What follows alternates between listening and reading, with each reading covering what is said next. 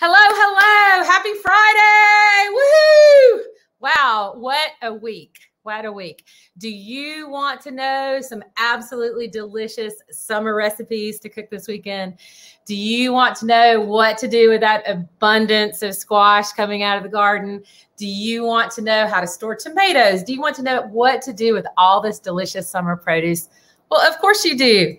Y'all welcome. Thank you so much for joining me today. My name is Virginia Willis. This is Cookbooks with Virginia. This is a cookbook celebration that happens every Friday at 11:30 a.m. Eastern Standard Time on Facebook and on YouTube and then a little bit later in the afternoon we're going to upload it to IGTV. So the most awesome part about it is that I get to talk to people who've written these great cookbooks. And the second most awesome part about it is that you get to join me. So this week, it's been a really busy week and I've got lots to share with you. But our guest today is Jonathan Bardzik. Um, he has written this gorgeous book called Simple Summer, and it is exactly this collection of recipes that you need for summer and you need to celebrate as we head towards the end of summer. So let us please welcome Jonathan to the show. Here we go. Hey, Jonathan, thank you so much for joining me today. Thanks for having me, Virginia. Oh, I'm just thrilled to pieces. Well, I am so excited. We've already got some folks joining us. Yay. Hey, Gail. Gail from Atlanta is here.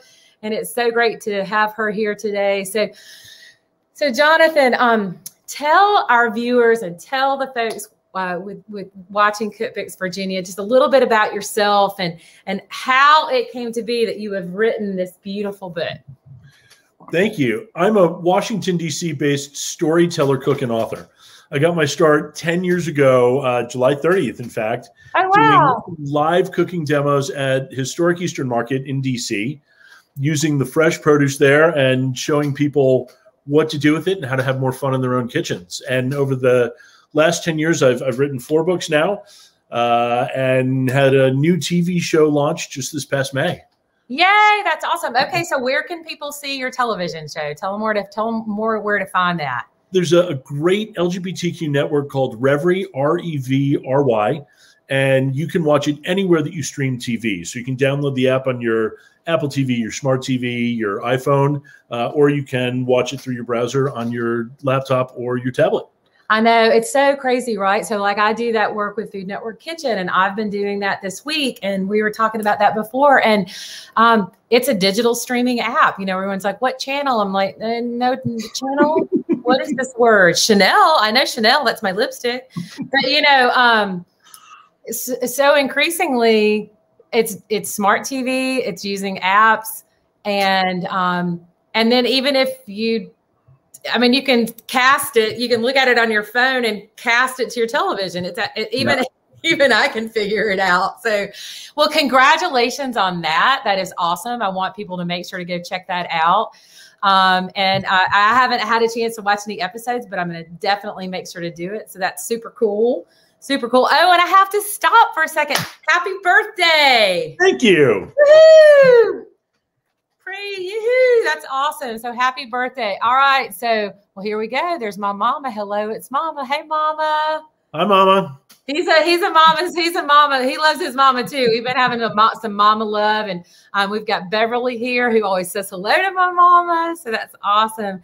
So okay, Jonathan, the you know summer um, summer is just such a wonderful time for cooking and I know that you're in DC, and I have been to some of those incredible markets. And I know that right now you're up in, in Western Massachusetts, and I have been to some of those incredible markets. So, what what was it? What was it that made you want to write this simple summer cookbook?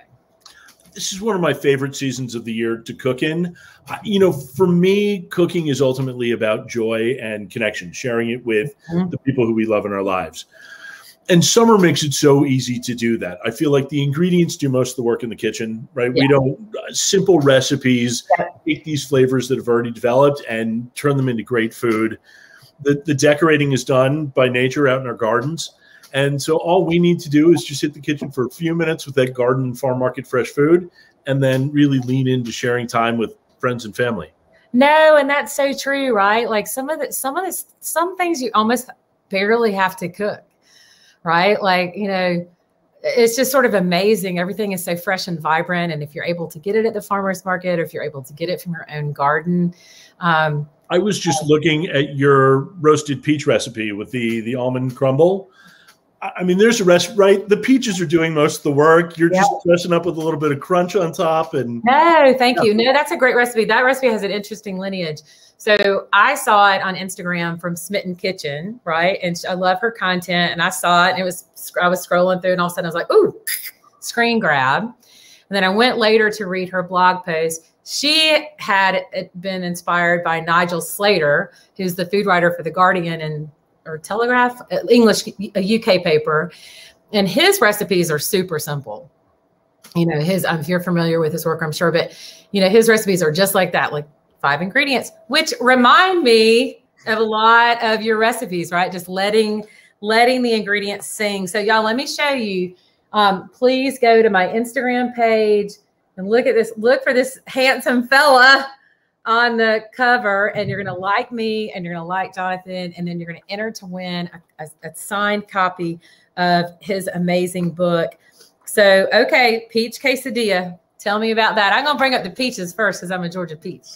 I, one of my favorite dishes. And in fact, talking about moms, this is one my mom uses for entertaining all summer long.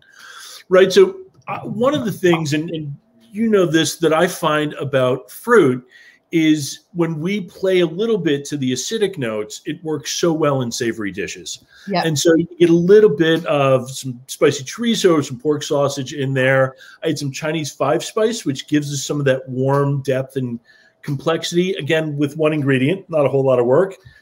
And some some sauteed uh, onions on top of that, cheddar cheese, and those peaches soften up just a little bit using super ripe summer peaches, anyways.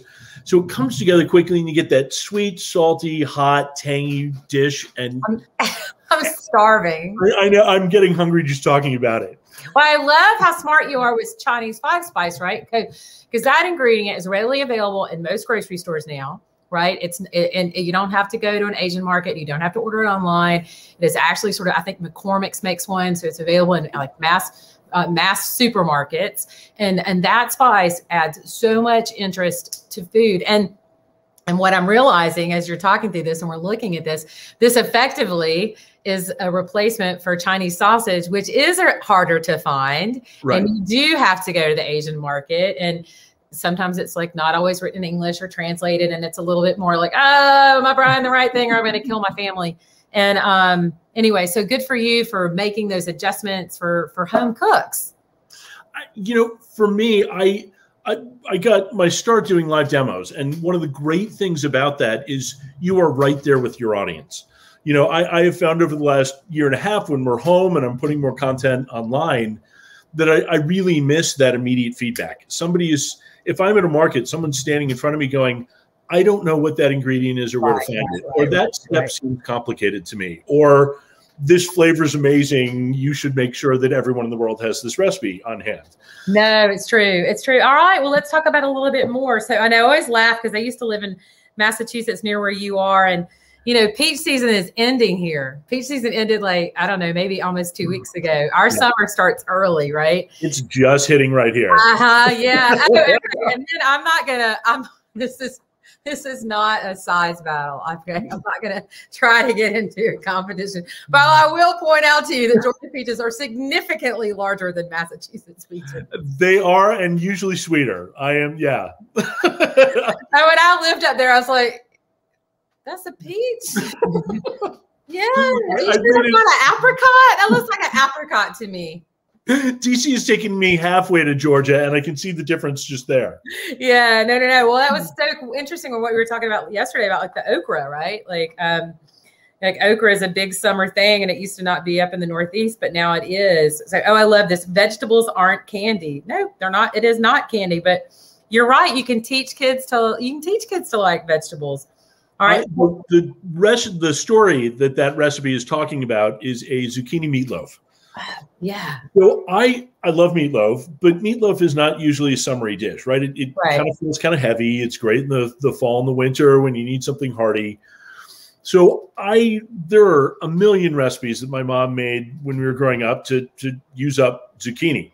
Uh-huh. And very often it gets shredded and mixed in with other things. Uh-huh. And so I found by adding some shredded zucchini in with the beef, you can really lighten it up and you get this, this really light summer weight meatloaf.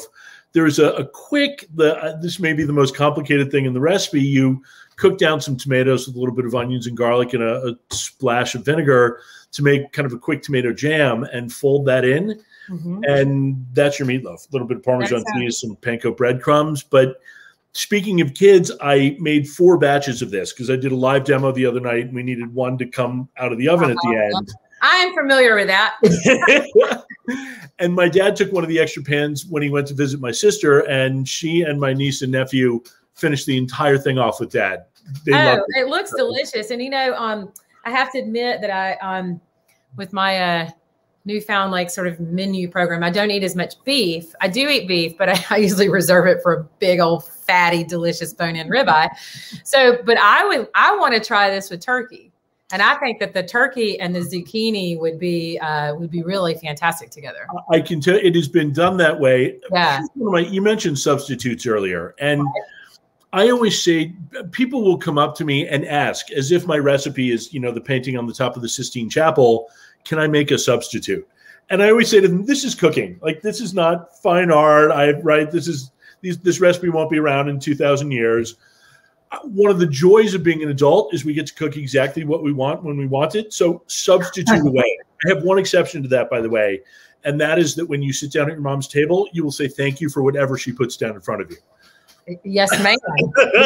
yes, ma'am. That is that is the truth. That is the truth. Mm-hmm. Okay, y'all. For those of you that's jo- just joining us, my guest is Jonathan Bardzik. He is a chef, storyteller, and author out of the DC area, and um, his book is called Simple Summer. You can win a copy. I want you to head to my Instagram feed and um, you're going to like me. If, even if you don't already like me, you can, or if you don't, you do whatever. You just like me, like Jonathan, tag a friend. And then on Monday, you will be entered to win um, a signed copy of Jonathan's book. And it's just all about summer. I'm going to read you, I'm going to read y'all some of the, um, some of the recipes that are included. So it's like celebrate summer's simple joys, cold drinks, great music, and cooking bright, fresh fruit food to share with those you love. Peach quesadillas, watermelon gazpacho, French potato and tomato salad. Ooh, I love that mashup. That sounds delicious. Um, spicy orange soy grilled shrimp, lemon poppy seed ricotta waffles. Oh my gosh, I have to eat lunch before I do these, is what I think. Okay, grilled thick cut pork chops with a peach barbecue sauce. I have hardly ever met a pork chop I didn't like. Let's talk about that a little bit. this is one of the uh, there there are recipes that I come across that feel empowering, right? I think they make us uh-huh. feel special in the kitchen and sauces are very often in that category where you go, "Oh, wait a minute, you can make this at home?" Mm-hmm. So particularly with barbecue sauce, and and I know that you have been doing some work with Weight Watchers over the last year. It's so easy for more sugars than need to end up, more salt that needs to end up in a lot of those sauces. So I thought I'd try making it at home. And with summer peaches, when particularly the ones that are about five minutes from going bad. Yeah, yeah, yeah, yeah. yeah. Mash up so beautifully into this rich, thick, but still sweet, tangy barbecue sauce, and slathered over the a pork chop right at the end of grilling. It is magic. Oh gosh, I see a pork chop in my future. And you know, you're right. And the other thing about making your own barbecue sauce. So my mama has made her own barbecue sauce since I was a child. Like store bought barbecue sauce was not a thing in my in mama's house or at my grandmother's house. It was just not a thing. And um, mama got the recipe from a neighbor in our neighborhood and when I was a little girl, and that just became our family's barbecue sauce. No Krafts, no Heinz, no nothing. And you know, it sounds like, oh my gosh, why would you bother? Why would you bother? Because you can pronounce all the ingredients, right? Because you can control the amount of fat and sugar and you and it and it's it's just a better product right you know okay mayonnaise i get it who wants to make homemade mayonnaise every time you need some mayonnaise but barbecue sauce and then the other thing is you know there's enough uh there's enough you know acid and, and sugar and things like that that it'll last last right. a week plus, right? Like Mama's has a ton of vinegar in it, so it lasts even longer. But you know, you, I, I, what would you think about this? You've got molasses, ketchup, half a cup of white vinegar. I mean, I would very, very safely say that this would last what seven to ten days. I mean, I know it's on kind of on the edge. Easily. I mean, I'm so I, I would say seven to ten days for yeah. anyone that I gave it to. Yep. I'll, I will secretly admit I've had it in the fridge for a month and it passes the smell and all the other right. safety tests. No, I know. I, I know. And I'm glad that you gave that caveat because like, you know, what and like what the lawyers would want me to do if I were going to put this in a magazine or you were going to put this in a magazine and they'd say three to five days. You and I know that it's probably seven to 10 is fine. And I know that in my refrigerator, if I made a batch of this barbecue sauce, I would definitely keep it a month, right? Because yeah. you know you just got to look. So Scott, who also um, has a wonderful book, Small Town Kitchen Table, he just ordered yours. So thank you, Scott. Yeah, yeah, he's a, he's got a beautiful, great book with lots of great recipes. And um, Beverly says that all of these uh, recipes sound delicious. And then we had so, uh, Jennifer thinks that the zucchini leaf sounds great. And then she likes the turkey idea. So there you go. We've got some recipe development happening. Um, all right, so let's talk about um, let's talk about the storytelling aspect because I think that that's lovely that you describe yourself as a chef and a storyteller and an author. So tell tell us a little bit more about the storytelling aspect of simple simple simple summer.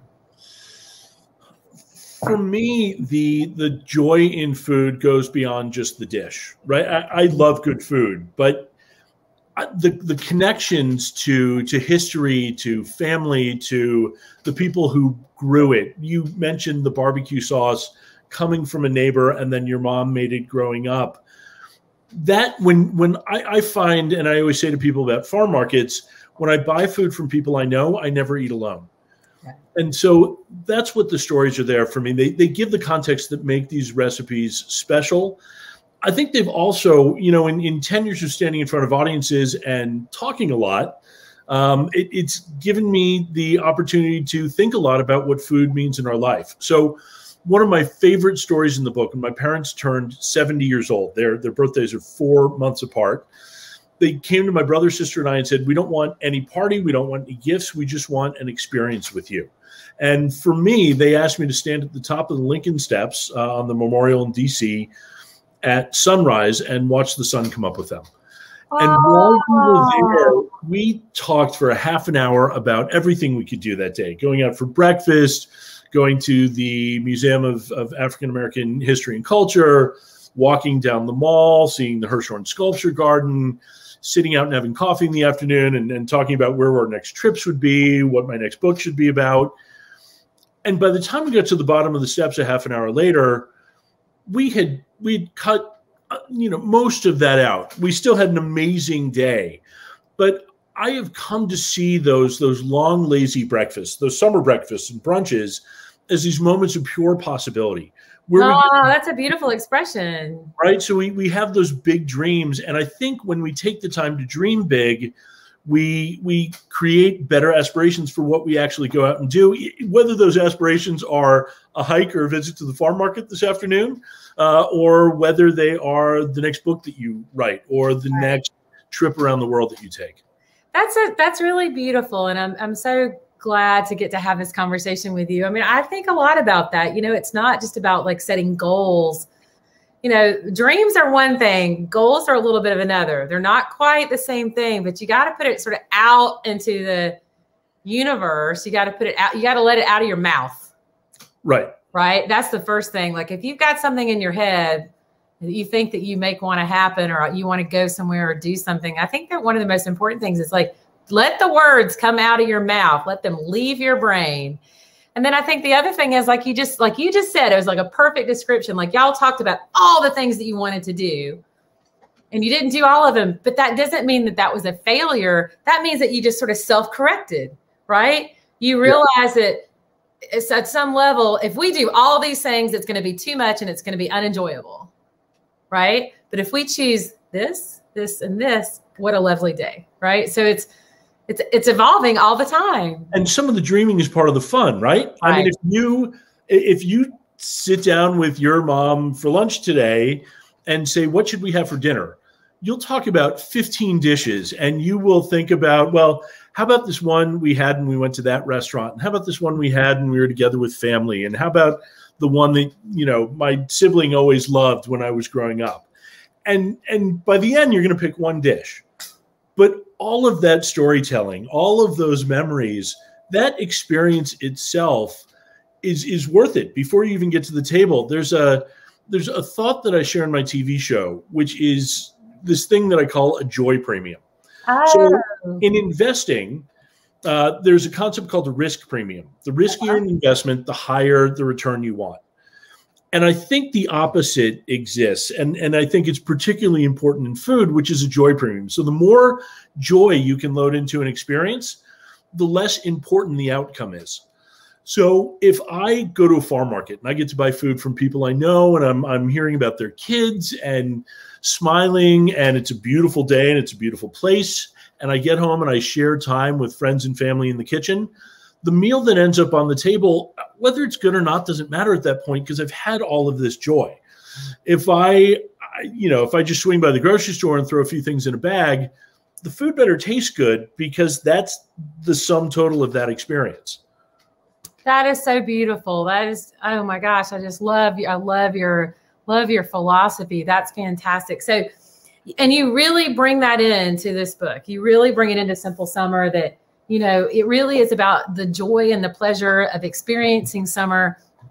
And I think that that's the one of the things that that I know that I like move my table. Um, I know that I like the most about um, summer is that the food is so simple, right? So that you can spend the chef, the cook can spend more time with friends and family because it's so easy to cook. You know what I mean? It's like it kind of cooks itself and it's just less stressful in a way. Um, and I, so I love that you talk about you have drink recipes, but you also just give suggestions about like, hey, heavy beer may not work today. Or you know you've got the watermelon martini know you've got some like some interesting things and and the music. And you it really is a cookbook that's um it's it's an entertaining cookbook as much as it is um it's an entertaining cookbook as much as it is like a, a group of recipes right again I, I think sharing time together is such a big part of summer and you know we're we're outdoors it's easier to do it you don't have to cram everyone in your dining room you don't have to set a fancy table and so it, it's such a perfect time to just say, uh, you know, on the spur of the moment, come over to the house, share yeah. time, your friends, your family. And, and so the music helps set that little background.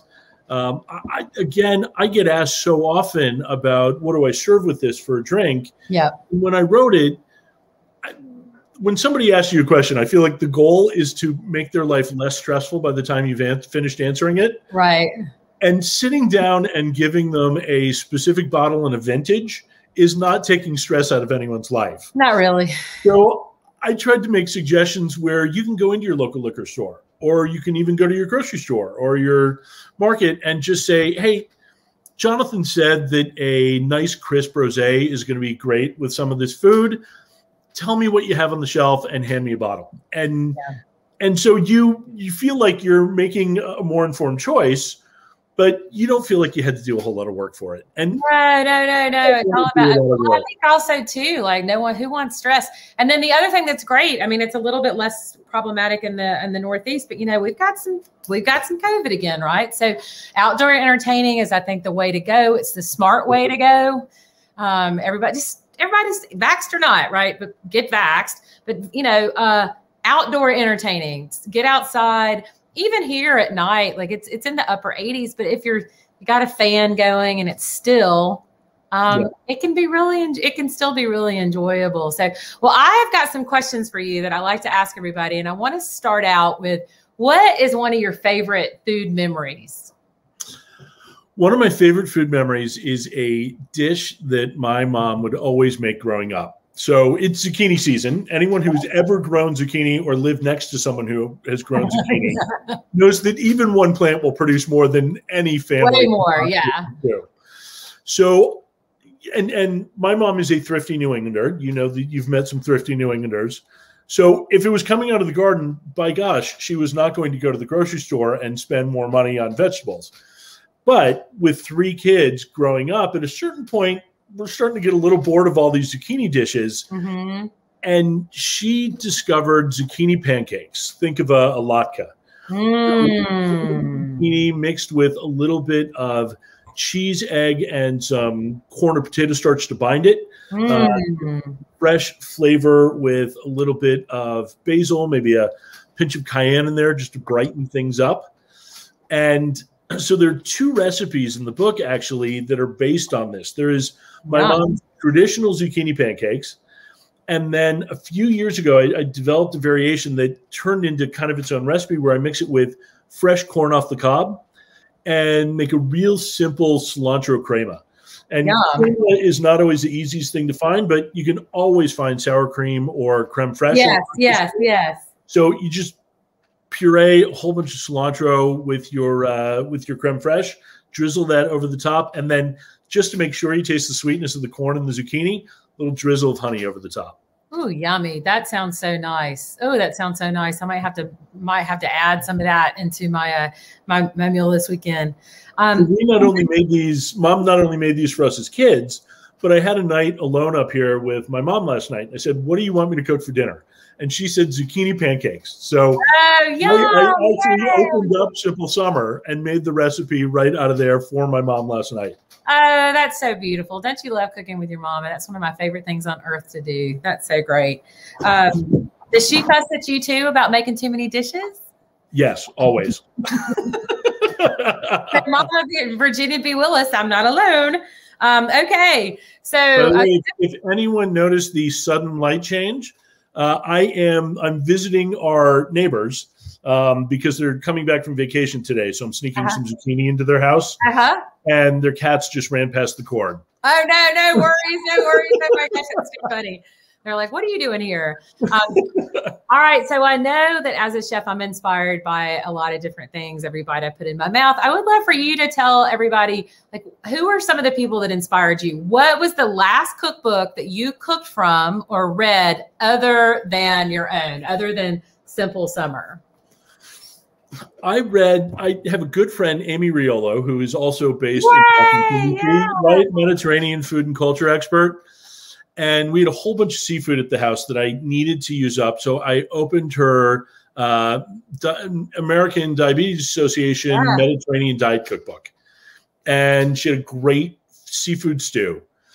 I will tell you, I normally don't cook directly from recipes, and Yeah. I'm guessing you probably do the same thing when you're used to when you know enough food and you're used to just throwing things in it can feel tedious the first time making a recipe Yeah, feels like work. i get inspired by a lot of a lot of different recipes but this was the first one in a while that i cooked start to finish it was also incredibly simple and delicious That's nice. And you know, it's nice sometimes because I do do some work that I test other people's recipes and I love that. You know, I love the um it's work, which is why I don't normally like to do it, right? But sometimes I really enjoy it because you're learning from other people and Amy is awesome. So yay you on that note.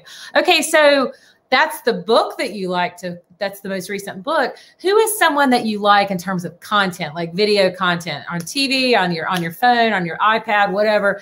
Like and it can be youtube to pbs to Revry whatever. Who is someone that you like to watch? Gosh who have i been watching lately? Um i mean i kenji lopez alt is Mhm. always incredible there is a, a great podcast that i have started listening Oh, yeah, to yeah, yeah, year called uh, chefs without restaurants. Oh cool. Um, it is it's uh, produced by a private chef hmm and he interviews he's interviewed some amazing folks in, including uh, daniel who's now the editor over at Serious Eats. Yeah yeah. Did, uh, for his 100th episode he did a two-part interview with him but he interviews people who are in the food industry but aren't technically doing restaurant work yeah no, that's a, that's a big question, recipe right? developers Yeah, no, that's cool, and and I think that's good because there's a there's a ton of us out there, right? Like, I mean, Yeah. we may have worked in restaurants in the past, but we're no longer working in restaurants, and there's so much that you can do in this world in the culinary field other than work in restaurants. Um, so that's really cool. I'll thank you. That's a, such a selfish question because it's I love to check out like check out what people are saying. The one right. other person I think you would love is uh, David, and I am I don't pronounce uh, I, don't know Portuguese well, so I'm going to butcher this, but it's I think it's Guimares. It's G U I M A R E S. Uh huh. He is the executive chef at the European Union Embassy in Washington D.C. Holy he was moly. Portuguese and was trained over there, and started a podcast during COVID, and has had amazing, amazing people on it. I mean, oh, that's so cool. Yeah, I have to um, add that podcasting is podcasting is a whole other thing. Uh, I think he actually has Jacques Pepin on recent. I mean, he just keeps pulling these that's unbelievable names. So that's awesome. Both really fun to listen to. All right, Terry says nothing like summer veggies. That is the truth. Okay, sour, salty, bitter, sweet, or savory. What's your go-to flavor? Absolutely savory. Yeah, yeah, umami. what are, your, I, what are your, some of your favorite umami things? Uh, I love going for red miso is probably my my silver bullet. So, um, yeah. Deborah Madison, uh, who wrote Vegetarian for Everyone and uh-huh. Vegetable Literacy, right? Yep. Wonderful vegetarian chef. Vegetable I, literacy is genius. Oh, it, amazing book my probably 12 years ago, my husband Jason and I went vegetarian. It was a great three months. We, uh, I was, uh, you've probably been here before, Such right? a great you afternoon. You get bored with everything that you've been doing and you just, you go find like a brand new cuisine or new culture to cook from yeah. just to shake it up. So that's where that, that's why we went vegetarian. And Deborah Madison's Vegetarian for Everyone was kind of my go-to yeah, and I yeah, learned so cool. much. I I grew up on a lot of vegetarian food because mom was bringing in so much from the garden. The yeah, yeah. Um, the moosewood plant forward. That's it. Plant forward, yeah. right? You know, plant forward is the way to go. Okay, so with all these summer vegetables, I just have to ask you, what is your most indispensable cooking tool? Well, I guess indispensable cooking tool year round. What is what is your most indispensable cooking tool? Um, I often give two answers to everything, if I may. uh, number one, and I know this because of doing a lot of live cooking demonstrations. When you have to pack your kitchen and travel somewhere uh, and and set up a pop up kitchen to do a demo, yeah. you learn very quickly what is essential. So the the only thing I've literally never been able to work without is a knife. Yeah. I even put a, a tea towel over a sheet pan once to use as a cutting board. So so the yeah. knife is absolutely good knife is indispensable, and I it, it's a it's a bit of a funny answer, but I think the truth is that we use the knife more than any utensil that we use in the kitchen, and yeah. the more comfortable we get with using a knife, particularly a chef's knife, the more work we can get done in a shorter period of time with less effort. True. So having a really good knife makes all the difference. After that, I am gonna and I get asked about this all the time when people see my kitchen is a salt pig. So a salt. salt. Oh, a salt pig. I thought pig. So a salt pig is a, a little. You, mm-hmm. you, probably have one. Is, yeah, is yeah, a yeah. Crop, crockery with an open mouth, and in fact, the the pig in salt pig refers to a Scottish word for crockery. Whoa, nice. That's a so, good. I didn't know that. Thank you for yeah. dropping that knowledge on me. So you live in the humid South, just like I do in DC. Yeah.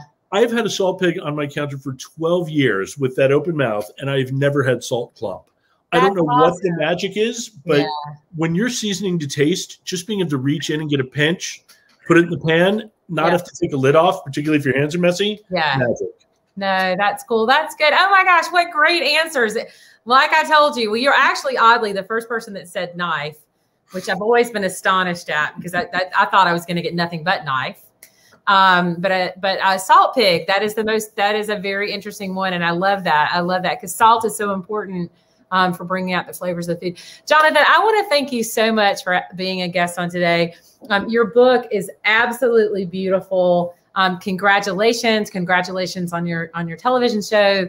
That's fantastic. And um, thank you so much for being a part of Cookbooks with Virginia. Virginia, thank you so much for having me. It's been such a pleasure talking with you. Yay, yay, yay, yay. Well, listen, um, I'll see you this around on social media as we promote your book over the weekend, okay? Wonderful. Thank you. Have a wonderful weekend. Yes, yes. Y'all, isn't that fun? Isn't that wonderful? I am just as happy as I can be. Um, Jonathan Bardzik's uh, Simple Summer, beautiful book. uh, color photography, tons of recipes, music, stories, recipes, everything you need to have a great summer party. Um, so thank you so much for watching Cookbooks with Virginia today. Um, lots of great things happening. You can check it out at my website.